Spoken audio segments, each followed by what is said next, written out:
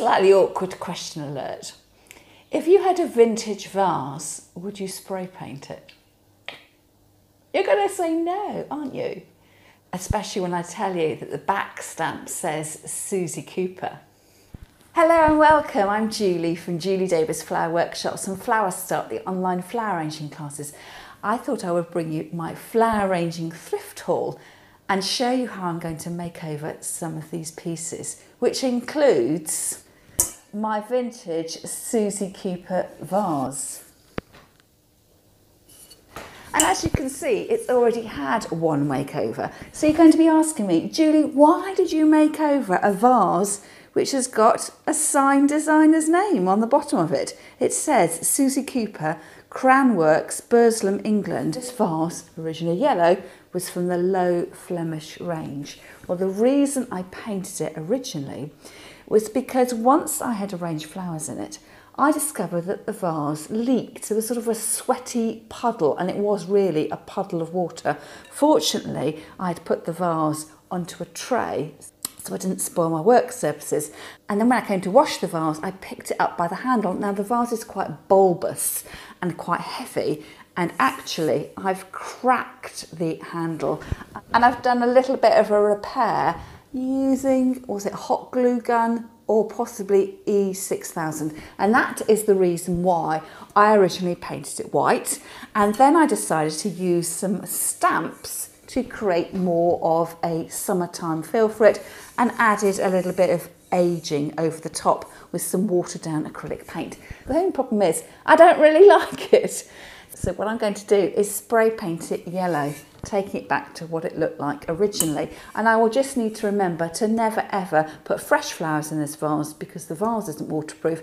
I will be arranging flowers that are either silk, artificial, or um, dried flowers. But I will need loads and loads of flowers because the hole, the, the open mouth on the vase is really quite large. So I'm imagining perhaps peonies or large-headed garden roses would look absolutely amazing.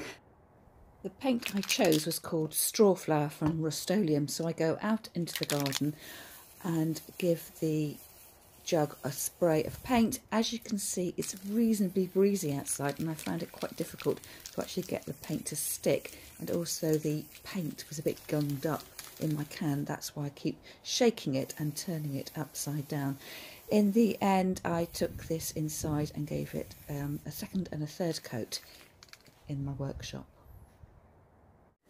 A recent find as well is this little Scandi inspired scarf, which cost me, I think, £3.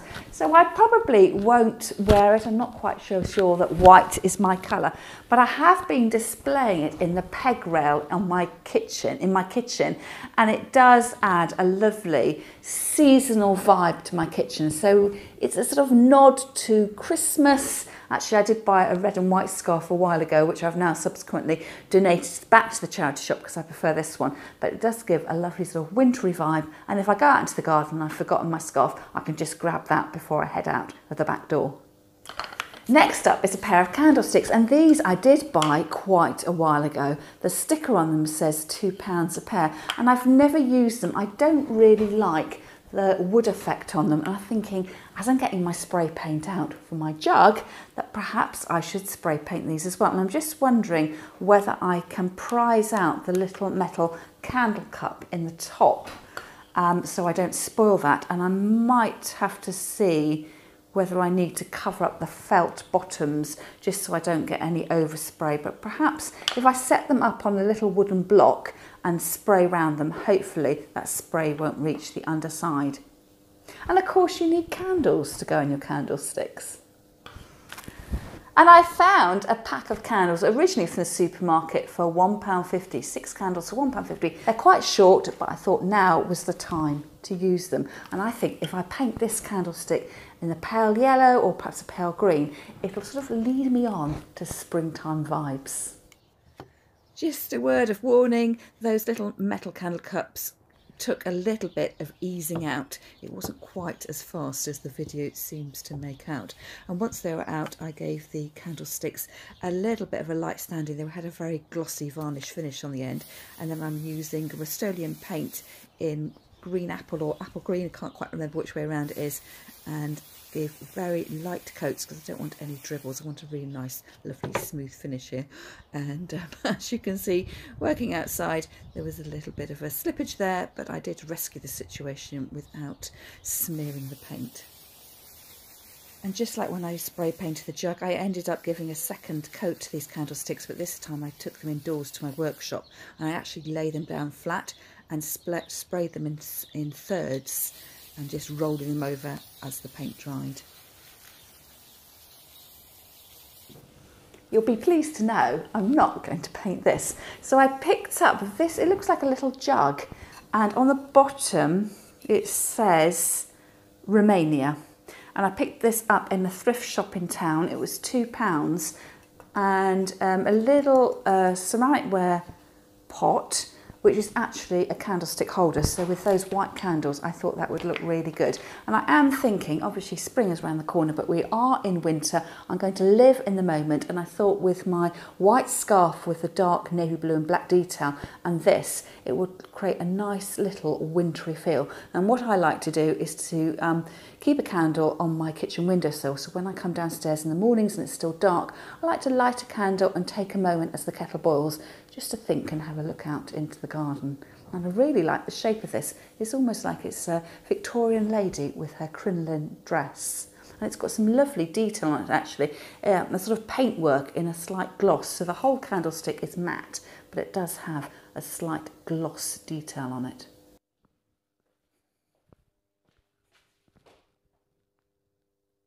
I've just recently been charity shopping in Ramsgate. So Ramsgate sits on the channel and is about 20 miles or so from France.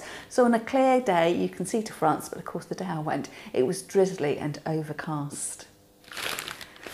I absolutely love dories and I've seen a video here on YouTube and if I can find it I will try and link it of a lady who made a dory featuring, instead of natural plant materials, little decorative plates. And I've been thinking, perhaps I should do the same thing. And what's inspired me is I have a Jasperware saucer that belonged to my mum and I don't really like it. But I thought if I could put it into something else, reuse it for another purpose, I will be able to enjoy it on a daily basis. So here, to add to my collection, it's not Jasperware, but they are mini little saucers with floral details on it this one, rather annoyingly, has got the price label right over the flowers.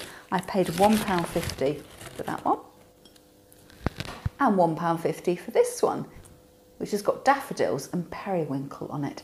So I'm going to go with a whitish, bluish, yellowish theme, trying to keep the plates I collect over the coming year vaguely in the same colour palette.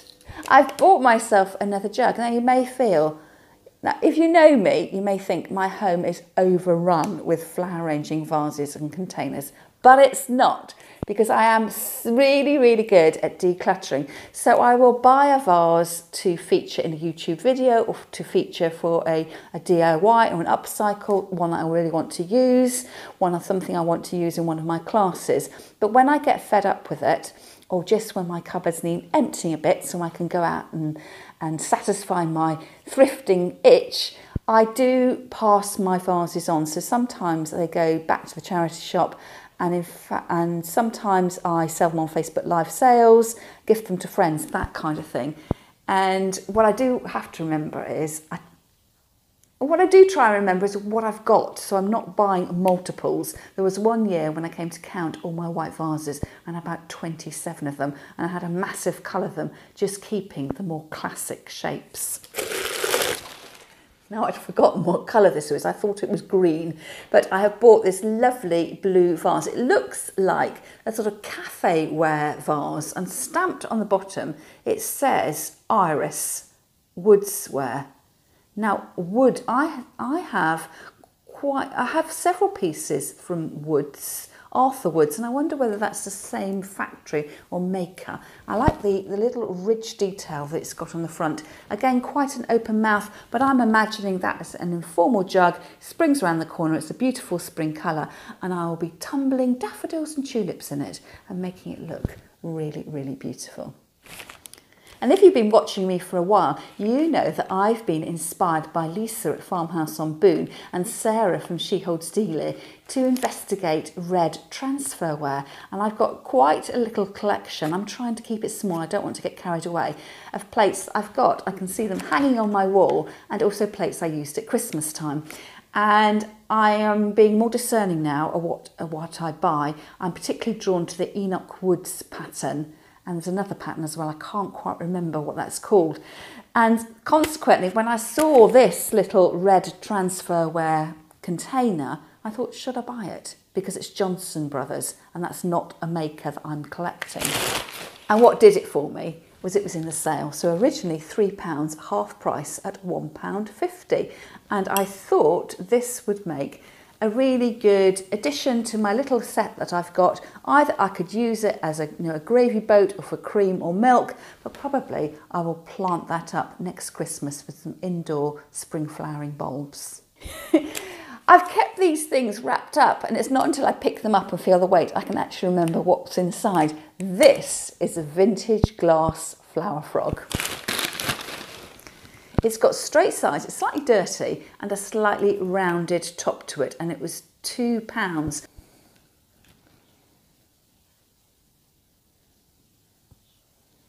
I'll be filming a video shortly on how to arrange flowers using a vintage flower frog. If you're watching this video in the future, I will leave a card for it up above so you can easily click through and watch it.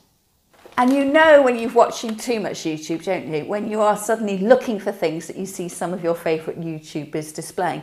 So I'm pretty sure that Jane from the Second Hand Gem quite often picks up these silver trays and paints them white and then wet distresses them to bring back some of the original colour. So I have decided to buy one of these little silvery trays. It's got a little pattern on the bottom and cut out details around the side and I paid £2.50 for this. So we'll have to see whether I actually do go ahead and paint it. But what I do find really helpful with trays is if you're arranging flowers on the table or you're collecting, putting together a little vignette to put on your coffee table or your kitchen table, you can easily pick everything up in one go and move it when it's in the way. So I will be styling this up with my little collection of bits and bobs that I have been buying lately. Well, perhaps not exactly like this, but you get the idea. And just making sure I actually use it. And if I decide that really perhaps my head was swayed by other people using trays that look really good in their homes, of course I can always donate it back to the charity shop. I was rather pleased how this little vignette on this tray worked out.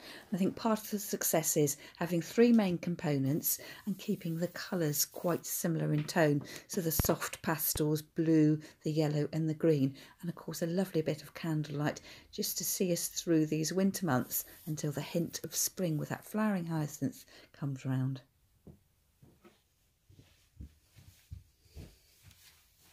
So I hope you enjoyed my thrift haul with that little flower arranging edge to it. And let me know in the comments what you liked best out of all the items I bought. And what do you think I should have done with the Susie Cooper jug. Just not touched it in the beginning at all. The only problem was, as I said at the beginning of the video, is I discovered that the jug leaked and also I cracked the handle when I was washing it up. That's all from me for now and I'll catch up with you next time.